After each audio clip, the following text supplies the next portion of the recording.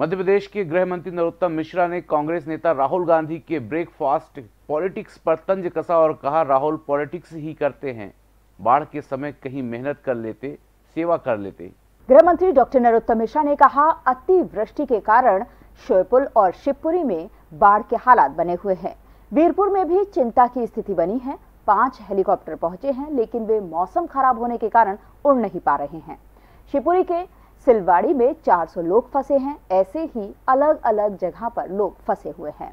शिवपुरी में दो लोगों की मौत हुई है। मुरैना में बिजली गिरने से एक व्यक्ति की मौत हुई है। श्योपुर के वीरपुर और विजयपुर में थोड़ा चिंताजनक है अभी।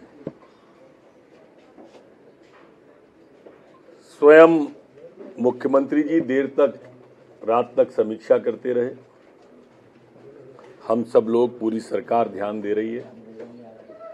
पाँच हेलीकॉप्टर कल पहुँच गए थे।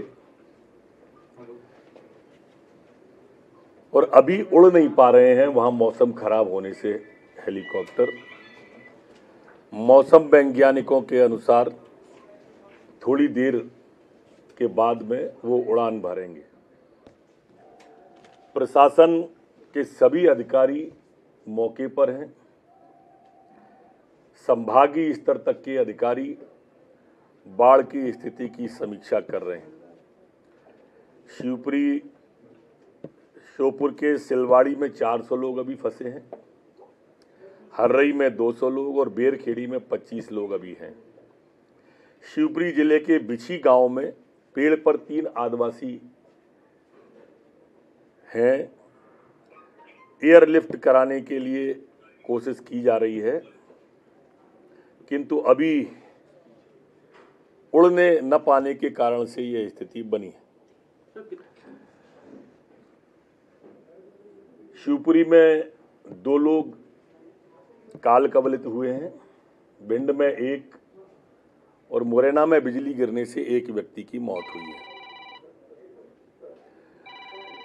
सिंध का पानी, चंबल का पानी लगातार बढ़ रहा है। अभी भी बारिश शिवपुरी और श्योपुर में काफ़ी हो रही है। आने वाले 24 घंटे में शिवपुरी, श्योपुर, निवाड़ी, गुना और अशोकनगर, इन जिलों में अतिवृष्टि की संभावना है। इसलिए आपके माध्यम से ये विषय पहुँचे कि लोग घरों पर ही रहें।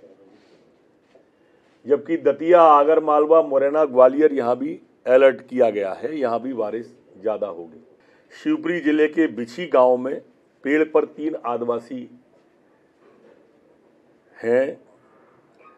एयरलिफ्ट कराने के लिए कोशिश की जा रही है, किंतु अभी उड़ने न पाने के कारण से यह स्थिति बनी है। शिवपुरी में दो लोग काल कवलित हुए हैं।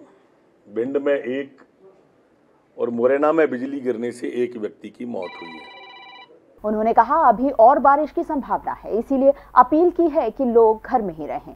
मुरैना और भिंड ज़िले में अलर्ट किया गया है। कल जो मैरिज गार्डन में 45 लोग फंसे थे सभी को निकाल लिया गया है। मिश्रा ने राहुल गांधी के ब्रेकफास्ट पॉलिटिक्स पर कहा राहुल पॉलिटिक्स ही करते हैं। बाढ़ के समय कहीं मेहनत कर लेते सेवा कर लेते। अभी सुबह से हेलीकॉप्टर उड़े नहीं है। लेकिन प्रशासन ने लगातार जैसे कल जो मैरिज गार्डन के अंदर लोग फंसे थे 45 वो सारे के सारे लोग, हम 45 सारे के सारे लोग निकाल लिए गए हैं। श्योपुर, विजयपुर का मामला है। वहाँ पर ऐसी स्थिति बन रही है कि अगर और स्थिति बढ़ेगी तो 30 गाँव जो लगे हुए हैं, उनको भी खाली कराना पड़ेगा। हमेशा पॉलिटिक्स ही करते हैं, सेवा तो कभी वो करते नहीं ऐसी बाढ़ की हालात में अगर वो कहीं बाढ़ एक आध जगह हुआ थे तो शायद देश की जनता को अच्छा लगता। कोरोना के हालात में अगर किसी अस्पताल में हुआ थे तो शायद अच्छा लगता। और यही देश की जनता फिर चुनाव में चुकाती है 400 से 40 पे आ जाते हैं। संगीत की स्वर लहरियों से सांस्कृतिक ताने बाने तक चंबल के पीड़ों से नक्सलवादियों के गढ़ तक झोपड़ी से महलों तक। ठेलों से मेलों तक। पगडंडियों से सड़कों तक गाँव से शहरों तक व्यापार से उद्योगों तक। राजनीति से कूटनीति तक। दखन न्यूज़। आपके हक